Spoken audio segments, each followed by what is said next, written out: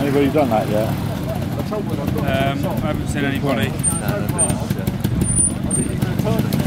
The guy Kendrew five did.